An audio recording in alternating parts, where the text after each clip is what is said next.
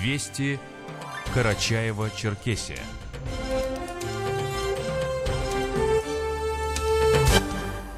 В студии Рита Нерова. Здравствуйте. Коротко о некоторых темах выпуска. В республиканской столице приступили к ремонту городских дорог. Работы пройдут на 28 участках. Фитнес-клуб, термальный комплекс, детская студия, бассейны и сауны появятся в Черкеске. На этой неделе в рамках оригинального этапа всероссийского конкурса «Живая классика» выберут лучших чтецов республики. И семь медалей различного достоинства завоевали наши борцы по итогам первенства и чемпионата СКФО по вольной борьбе в Дагестане. Далее подробно об этих и других темах. Глава Карачая-Чекесии Рашид Тимрезов в режиме видеоконференц-связи принял участие в заседании Совета при полномочном представителе президента России в Северокавказском федеральном округе Юрии Чайки. Обсуждены вопросы, связанные с реализацией мер по обеспечению соблюдения требований законодательства по защите прав и законных интересов дольщиков. Юрий Яковлевич отметил, что количество нарушений законодательства в сфере защиты прав и законных интересов участников долевого строительства по итогам прошлого года в ходе проводимой органами власти работы сократилось на 28%, сообщил в своем телеграм-канале руководитель республики Рашид Тимрезов. Полпред поручил участникам совещания продолжить реализацию комплекса действенных организационно-практических мер, направленных на недопущение фактов строительства многоквартирных жилых домов с нарушениями требований федерального законодательства. В конце прошлой недели под председательством руководителя региона Аршида Тимрезова прошло заседание антитеррористической комиссии в Карачаево-Черкесии – Ключевой темой стало совершенствование мер антитеррористической защищенности объектов жизнеобеспечения и военных комиссариатов. Другая тема – совершенствование работы органов исполнительной власти и местного самоуправления республики при реализации мероприятий по противодействию идеологии терроризма.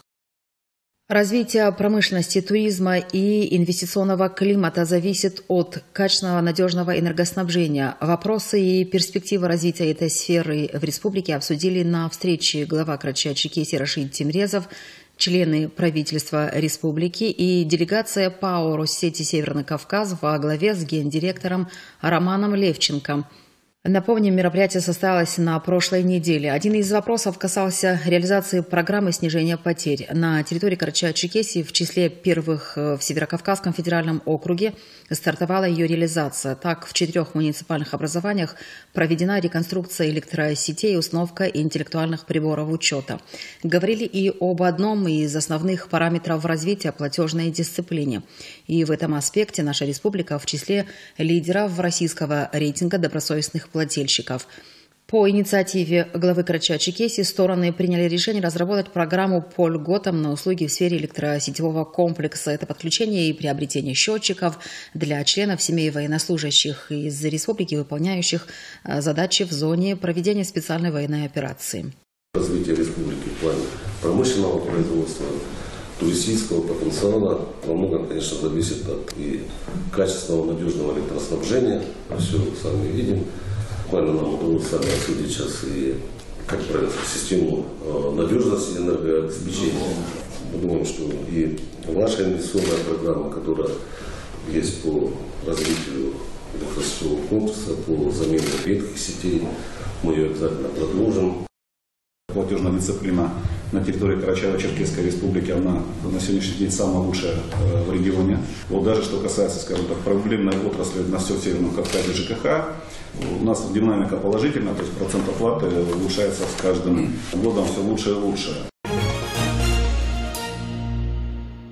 На состоявшейся в минувшую пятницу последней сессии Народного собрания министра внутренних дел Карачаева-Чекесии Олега Мальцева отчитался о деятельности ведомства в прошлом году. Он отметил, что оперативная обстановка в целом оставалась стабильной и контролируемой. Массив зарегистрированных преступлений увеличился всего на 2%. Такие изменения связаны прежде всего с увеличением поставленных на учет наркопреступлений и коррупционных преступлений, сказал Мальцев. Министр акцентировал внимание на росте числа изнасилований и неправомерных а, завладений транспортными средствами. Отмечено и снижение тяжких и особо тяжких преступлений против личности и преступлений против собственности. Правоохранительными органами республики раскрыто более трех тысяч преступлений, в их числе почти 700 тяжких и особо тяжких составов. Приоритетом остается раскрытие убийств, умышленных причинений тяжкого вреда здоровью, изнасилований, разбойных нападений и грабежей. Процент раскрываемости данных видов преступления остается высоким, сказал руководитель МВД. Карача-Чекеся по-прежнему занимает лидирующие места в Северокавказском федеральном округе. Раскрыто более 100 преступлений прошлых лет, четверть которых категории тяжких и особо тяжких. Особое внимание ведомства уделялось и нейтрализации попыток экстремистов и разного рода радикалов использовать современные средства для разжигания межнациональной, религиозной и социальной вражды. В 2022 году выявлено 4 факта содействия террористической деятельности, 8 фактов призывов к террористической деятельности.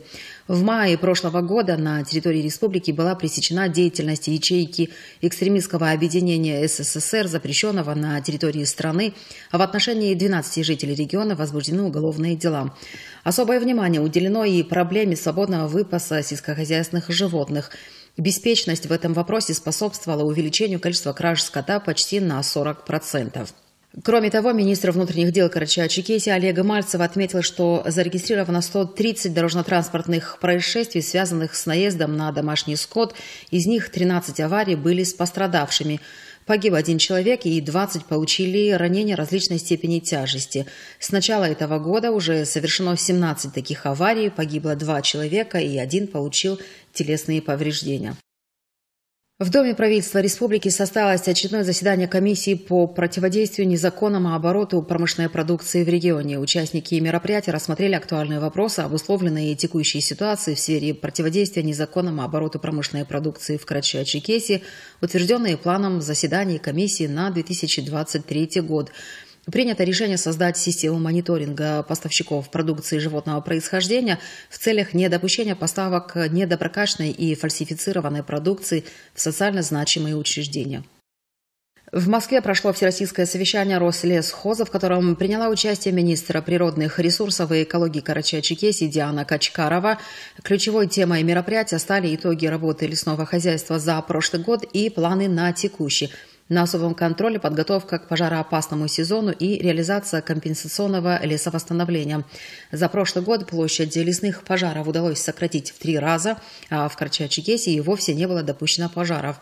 В текущем году в рамках федерального проекта сохранения лесов в республике планируется воспроизводство лесов и лесовосстановления на площади 124 гектара, закупка лесопожарной техники и противопожарного инвентаря для проведения комплекса мероприятий по охране лесов от пожаров.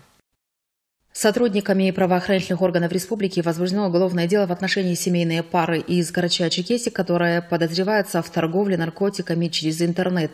Полицейские выяснили, что супруги создали криминальную сеть из трех онлайн-наркомаркетов в теневом сегменте интернета. С февраля прошлого года подозреваемые сбывали наркотики на территории московского региона, предоставляя своим клиентам GPS-координаты закладок с запрещенными веществами. Кроме того, оперативники обнаружили один из тайников супругов в окрестностях города Видное Московской области. В схроне находился пакет с мифедроном весом около 600 граммов. По предварительной информации, нелегальный семейный бизнес принес подозреваемым около 17 миллионов рублей дохода.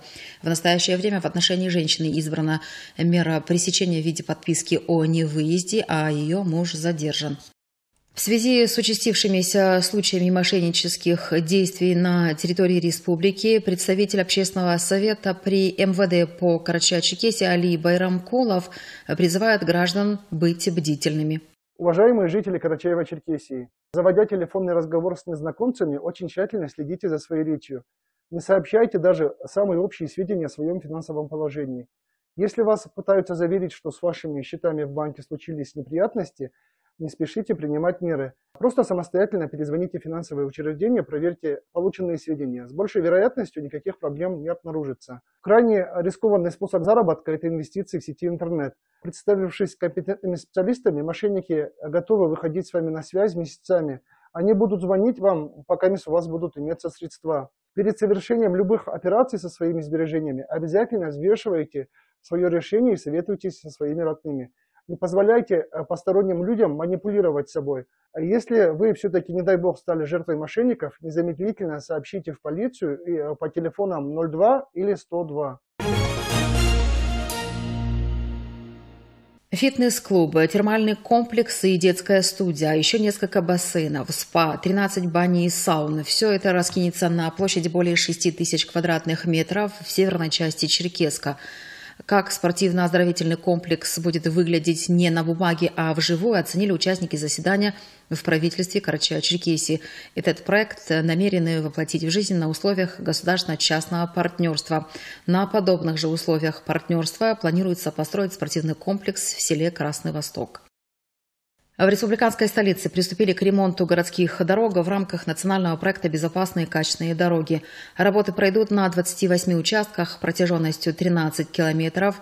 Начали с улицы Фабричной от Даватора до Лагерной, где в настоящее время устанавливают бордюры. Ранее с просьбой отремонтировать этот участок дороги протяженностью 900 метров в приемную полпреда президента России в СКФО обратилась многодетная мама из Черкеска. Здесь, как и на других участках, будет уложено новое дорожное полотно на проезжей части, обустроены парковки из щебеночно-песчаной смеси. Будут также устроены съезды и заменены люки, установят дорожные знаки и нанесут дорожную разметку – Напомним, с 2019 года в столице республики в рамках нацпроекта отремонтировано более 50 километров дорог, э, среди которых как основные агломерации, такие участки в частном секторе. Еще одно место для прогулок появится в республиканской столице. Благоустроенная аллея будет расположена на улице Даватра в районе регионального погрануправления. Работы там уже стартовали, старое покрытие демонтировано и совсем скоро начнется укладка тротуарной плитки. Общая протяженность новой общественной территории составит 158 метров. Украсят аллею 10 лавочек, обязательные урны для мусора и прочие малые архитектурные формы – а уютный теплый свет в вечернее время обеспечат 10 фонарей. Тему продолжит ведущий специалист управления ЖКХ мэрии Черкеска Руслан Джукаев. Руководством города было принято решение также за собственные средства муниципалитета обустроить э, данную аллею, так как э, у жителей была потребность в этой аллее, то есть немало людей проголосовало за ее обустройство, поэтому на данный момент ведутся работы по ее благоустройству. Первыми в списке благополучателей от этой аллеи являются студенты и жители данного района, так как у нас рядом находится колледж. В этом году и в следующем году у нас э, есть запланированные объекты, который мы планируем обустроить. Это происходит путем там, участия в различных э, государственных программах, но у нас есть большие планы по развитию нашего любимого города.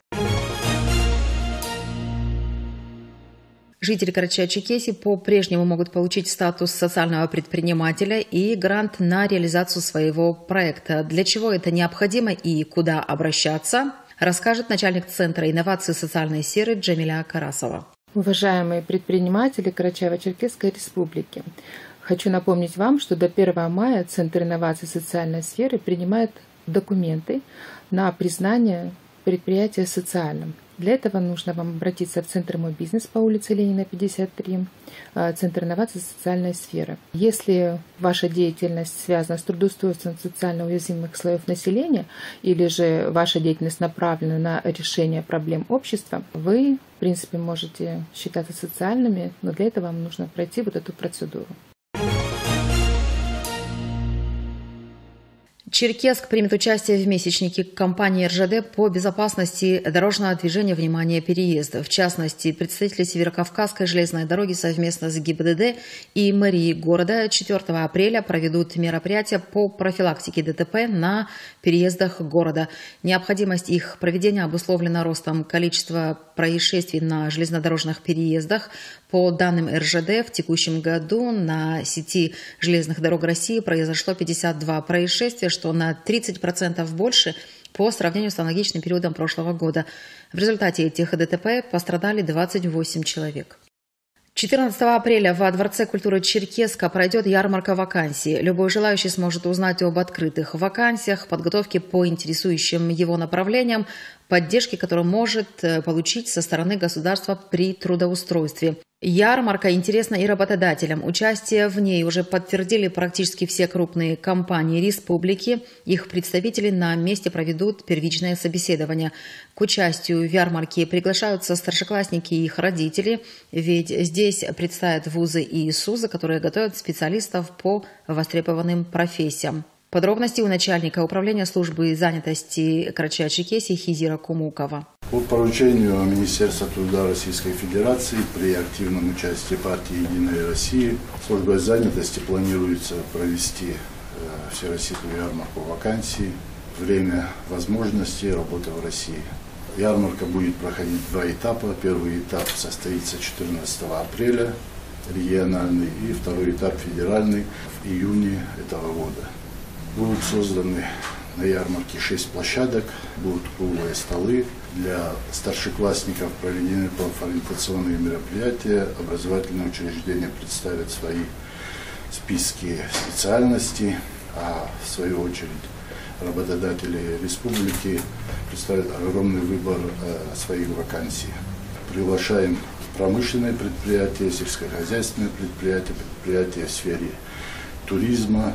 Для участия в ярмарке придется зарегистрироваться предприятием на портале «Работа в России», подать заявку э, в органы службы занятости и зарегистрировать в свою очередь свои вакансии. Так, кроме этого, приглашаются граждане, находящиеся в поиске работы, выпускники образовательных учреждений. Лучших чтецов республики выберут 5 апреля. В Черкеске пройдет финал регионального этапа Всероссийского конкурса юных чтецов «Живая классика». 36 конкурсантов будут соревноваться в прочтении отрывка из выбранного ими прозаического произведения, которое не входит в базовый уровень школьной программы по литературе. Оценивать участников будут представители различных сфер деятельности. Они будут рассматривать глубину проникновения в образную систему и смысловую структуру текста, грамотную речь, выбор выбор текста и артистизм. Трое финалистов оригинального этапа отправятся на финал Всероссийского конкурса в Международный детский центр «Артык». В сотрудничестве с дирижерско-хоровым отделением Карачаево-Черкесского Государственного колледжа культуры и искусств имени Аслана Даурова в Черкеске состоялись гастроли детского хора филармонического общества Санкт-Петербурга. Коллективы представили программу из произведений современных зарубежных и русских композиторов. Состоялись и открытая репетиция, и мастер-класс – руководителя детского хора филармонического общества Екатерины Андреевой, на котором участники смогли познакомиться с творчеством российского хорового аранжировщика Михаила Серкова. В Черкеске прошел республиканский этап всероссийских соревнований по шахматам «Белая ладья». В турнире приняли участие семь школьных команд Карачая-Черкесии. В упорной борьбе первое место завоевала команда гимназии номер 5 Республиканского центра, второе у команды лицея номер один Усть-Джигуты и бронза на счету у спортсменов гимназии номер 8 Черкеска. В Грозном прошло первенство Северокавказского федерального округа по боксу среди юниоров 17-18 лет, по итогам которого в весовой категории 54 килограмма Амин Алакаев завоевал золотую медаль, а Амаль Арзалиев стал серебряным призером в весе 92 килограмма. Оба спортсмена получили путевку на первенство России, которое пройдет в Тверской области. Ну и последняя информация. 7 медалей различного достоинства и 17 путевок на первенство и чемпионат России завоевали наши борцы по итогам первенства и чемпионата Северокавказского федерального округа по вольной борьбе в Хасавюрте. В своих весовых и возрастных категориях победителями стали Анзор Ионов, Расул Капсергенов, Амаль Джан Дубаев, Азрет Тамбиев, Ануар Чагаров, Амаль Кирейтов, Карим Чекуев, Камиль Карасов, Эдуард Урчуков – Ильдар Джанкезов, Ренат Озов, Расул Маршанов и Ислам Хахандуков. На этом информационный выпуск завершен. Его провела Рита Нерова. Приглашаются кандидаты для прохождения военной службы по контракту. Поступая на контрактную службу, вы выбираете честь, отвагу и доблесть в качестве своих жизненных принципов. Служба по контракту – это стабильность для вас и вашей семьи, достойное и гарантированное денежное довольствие, жилищное обеспечение, современное обмундирование, серьезная профессиональная подготовка, новейшие системы и комплексы на вооружении. Стань героем для своей семьи и для своей страны. Делай то, что действительно важно. Обращайся в военный комиссариат по месту жительства или пункт отбора на военную службу по контракту по телефону 8 86 52 24 99 51. Вы слушали Радио России Карачаева-Черкесия. До новых встреч!